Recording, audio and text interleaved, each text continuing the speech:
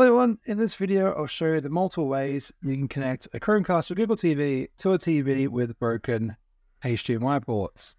First thing to do is look at the TV and see what ports we have. For demo purposes, we're going to say the HDMI ports are faulty and we need to find another way to connect this Chromecast to the TV. So the first port we're going to be looking at is the VGA port, which is the blue connection. It's a bit hard to see because of the way it's angled but it's the blue connection. Then we have these color connections here. These are blue, green, red, and white and red plugs. So that's called component. We're going to use that. Then we're going to be using composite, which is the yellow one, and the white and red ones. On this TV, these connections are a dongle, but other TVs, there might be ports on the TV. Just this one has dongles. And also there's USB ports. So we're going to be using those four ways and then show you how to do it. So the first thing we're going to be showing is the VGA port. To connect the Chromecast to the VGA port, we're going to need an adapter. So this is the adapter that I have. It's a HDMI in and then VGA out. So this one's actually designed to be connected directly to the TV, but some adapters might need a cable. And this one needs an audio cable to be connected to the TV because VGA doesn't carry audio, and a power cable. I have a power board with USB ports, so I could use that as my power source for this adapter or you could plug it directly into the TV's USB ports, depending on your TV. So now you can see everything's plugged in. We have the Chromecast plugged into the power cable. We have the VGA cable plugged in, and we've got the audio plug for the VGA cable plugged in into the audio plug on the TV and the adapter, and then the power cable plugged into my power board. So let's turn the TV on and go to the VGA input and see what it does. Alrighty, so on my TV, I've got the VGA port open, which on this TV is called the RGB port. So I open that up and now straight away the Chromecast has shown up. So we can use it like normal.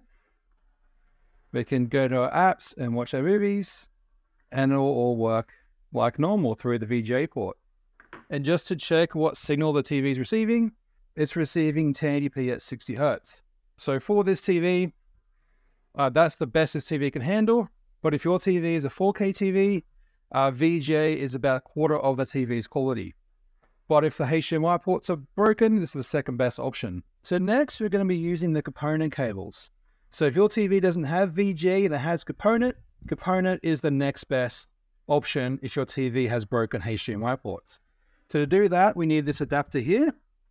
So this adapter has a HDMI input, HDMI, and then and then component output. So it's got the three video colors and the two audio colors. So let's plug this in and I'll show you it working. Okay, so now I've got everything plugged in. I've got the Chromecast plugged into the adapter, the adapter plugged into my power board, and the five plugs plugged into the TV, into the matching the colors. We got the red, green, blue, and the white and red. We're not using a yellow cable just yet. We're using that in the next tutorial. And now that's all plugged in, the light's on, the Chromecast is on, so let's check the TV and I'll show you how it's selected. So on my TV's input list, I've got the component input selected. So let's open that. And you can see it's receiving 1080p 60, which for this TV is the highest it can receive. But if your TV is a 4K TV, it's a quarter of what the TV can receive. But if the HDMI ports are broken, component and VGA are your next best options. So now we've got the component input open and you can see the Chromecast is working. We've got pretty clear picture. And we've got all our apps and movies showing up. So next option is AV, good composite, which is the yellow, white, and red cables. To connect the Chromecast to the AV input, you need a HDMI to AV converter. So it's got HDMI input there and then the yellow, white, and red on the other end. On this adapter, it has a, a signal converter there. So PAL or NTSC so that means the country of the TV. So I'm in Australia, so I'll keep it set to PAL. NTSC should also work most of the time as well. And if you're in America, have it set to NTSC. And also there's a power cable there too. So we're going to need a USB power cable. I'll plug it all in and then show you how it works. I have it all plugged in. Unfortunately, this adapter doesn't have any power lights, so I can't show you it actually working. But the Chromecast has a power light and it's plugged into the TV's AV cables, AV plugs, through the dongle that the TV came with. So let's have a look at the TV's input and see how this looks. All right, so I've got AV selected. So let's have a look at that and open it up. All right, so I've got the TV selected to AV. I'll show you the input. The input is showing 576i at 50 hertz. That's the PAL. Set I change to NTSC and then go back to the TV. It is now five, uh, 480i at 60 hertz. The signals are different depending on what looks best for your TV because as you can see, the picture is very disgusting looking. So now we've got our apps, we've got our movies, we've got the Chromecast showing up, but it's incredibly blurring and blurry and it's got a flicker because we're using AV cables and AV cables are disgusting. So you want to avoid those as much as possible.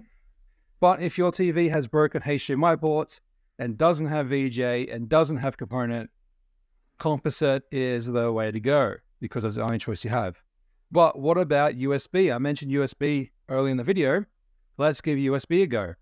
If you connect the Chromecast to the TV with the USB port, you need one of these, which is a HDMI to USB converter. Plug that into the TV and see what the TV does. There you go. I got it plugged into one of the TV's USB ports. Straight away, a message come up on my screen saying unable to support USB device. So that doesn't work. So we went through four ways of connecting the Chromecast to the TV. Uh, VGA, component, composite, and USB. And USB doesn't work. If you need any more help with your TV, you can contact me at simpledeviceadvice.com and watch another video on the screen now. Thanks for watching.